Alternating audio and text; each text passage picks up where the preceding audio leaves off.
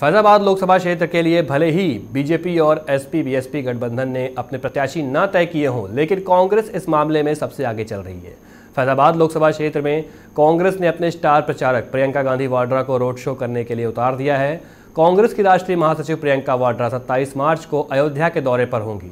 प्रियंका गांधी वाड्रा कांग्रेस के उम्मीदवार डॉक्टर निर्मल खत्री के समर्थन में फैजाबाद लोकसभा क्षेत्र में रोड शो करेंगी। प्रियंका लखनऊ से निकलकर बाराबंकी के दरियाबाद विधानसभा क्षेत्र के कोटवा सड़क से फैज़ाबाद लोकसभा क्षेत्र में रोड शो की शुरुआत करेंगी और जगह जगह लोगों से मिलते हुए फैज़ाबाद पहुंचेंगी, जहाँ पर उनका भव्य स्वागत किया जाएगा। इसके बाद वह अयोध्या पहुंचकर हनुमानगढ़ी में दर्शन पूजन करेंगी। अयोध्या में रोड शो करते हुए मऊ, शिवाला, रानी बाज़ार, बारून, कुचेरा, मिल्केपुर और कुमारगंज होते हुए अमेठी लोकसभा क्षेत्र उसी दिन पहुँच जाएँगी और वहाँ पर वो अपने भाई राहुल गांधी के लिए प्रचार करेंगी।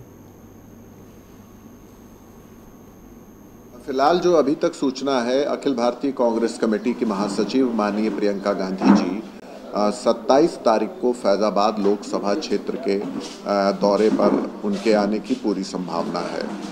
और वो यात्रा लखनऊ की तरफ़ से ही शुरू होगी। इसका मतलब जो दरियाबाद विधानसभा का अंश इसमें पड़ता है नेशनल हाईवे पे, उसके बाद जो बीकापुर विधानसभा का ब्लॉक सोहावल का हिस्सा पड़ता है, ब्लॉक मसोधा का हिस्सा पड़ता है। उस पूरे इसी नेशनल हाईवे पर लोगों से मिलती जुलती हुई वो शहर में शहादतगंज की तरफ़ से आएँगी और उसके बाद फिर वो चौक होते हुए उन्हें अयोध्या जाना है।